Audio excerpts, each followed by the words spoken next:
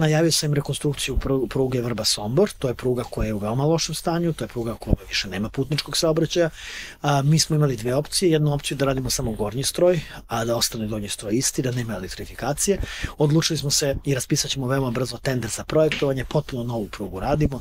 Donji stroj, gornji stroj, elektrifikacija, on, on vrednost će biti oko 80 miliona evra kako mi očekujemo, ali će se tom prugom, prugom voziti 120 km na sat i mislim da je to veoma važno, prvo zbog industrijskih objekata, objekata koji su na ovom potezu među Vrbasa i Sombora, a drugo i zbog građana koji će onda moći da koriste, kažem, još konfornije i još bolje železnicu.